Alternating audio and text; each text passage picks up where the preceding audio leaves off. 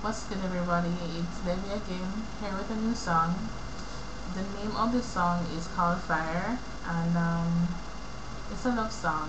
It's about I love being so intense and hot that you want to leave, but you can't, even though it burns so much. So, here it goes, Fire. I uh, hope you enjoy it.